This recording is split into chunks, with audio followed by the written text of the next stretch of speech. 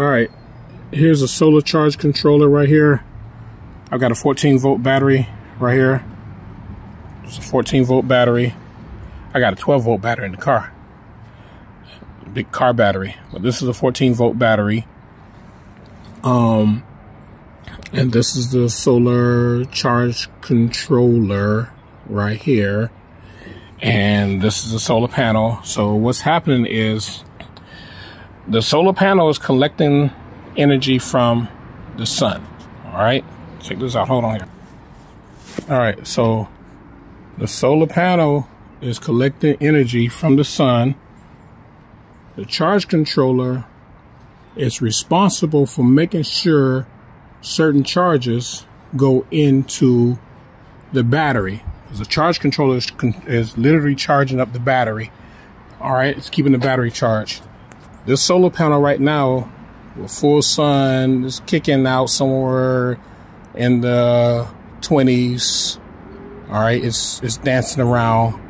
All right, as you can see, the charge controller is bouncing back and forth right now because it's because the solar uh, you got because I got the multimeter connected to it, so it's like taking away charges because the multimeter is like um pulling charges away from it. But you can see it's bouncing around there.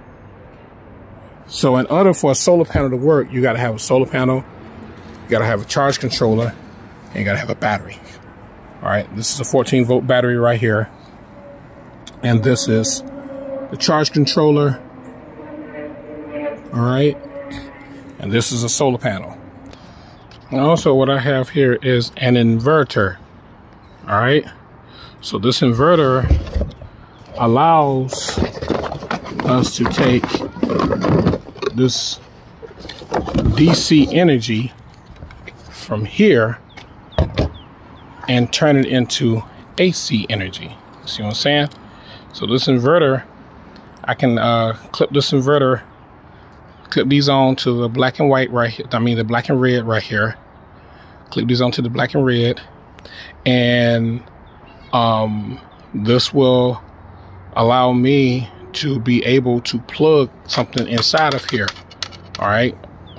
Speaking of the device that I created, because the device really doesn't take that much energy to run that uh, fan motor.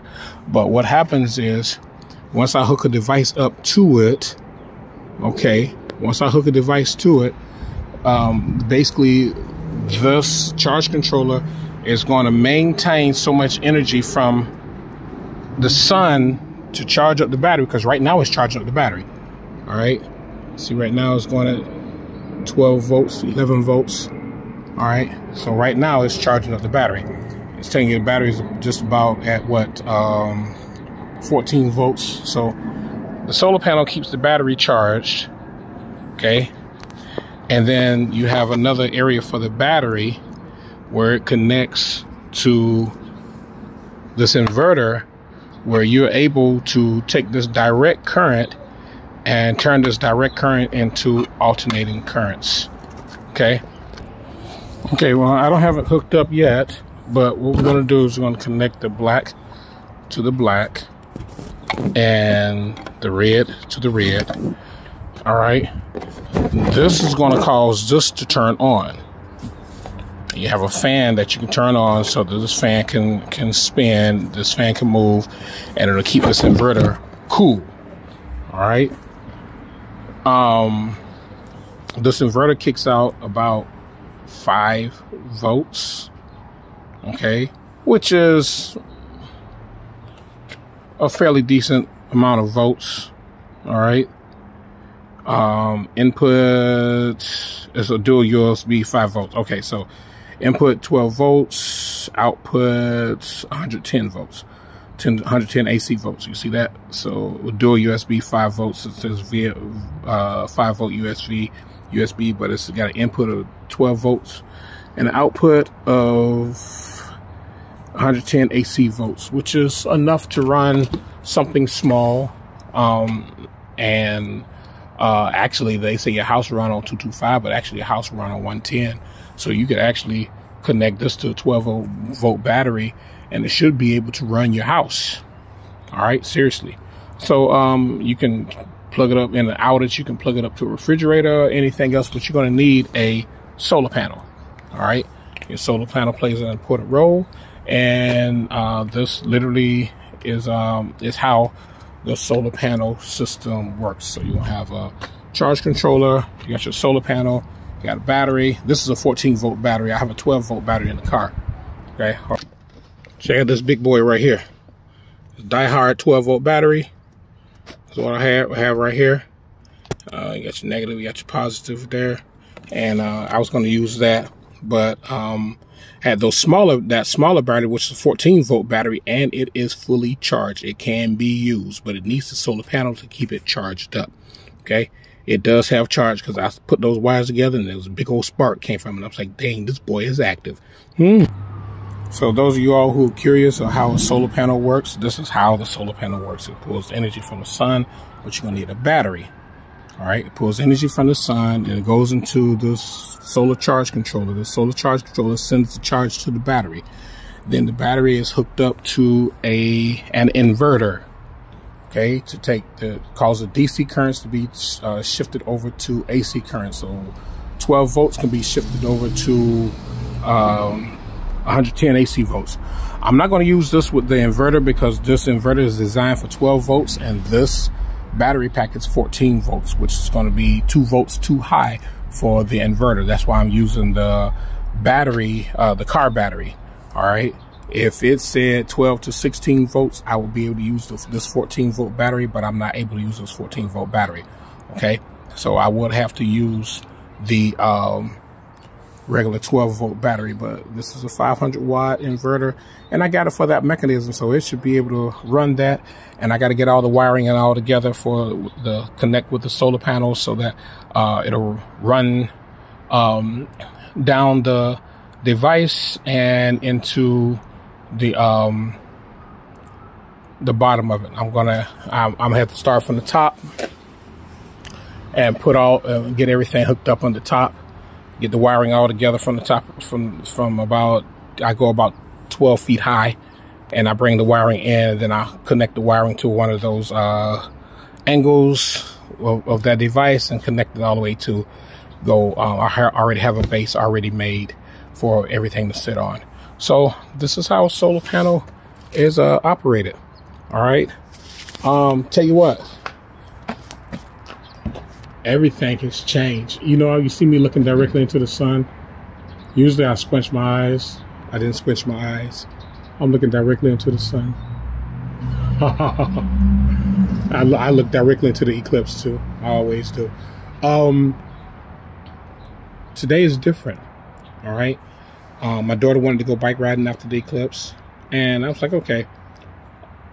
In the past, I was huffing and puffing riding on those on that bicycle. Today, I had no problem. I ain't gonna, I ain't gonna lie to you. I was huffing and puffing. I, I, I would huff and puff sometimes.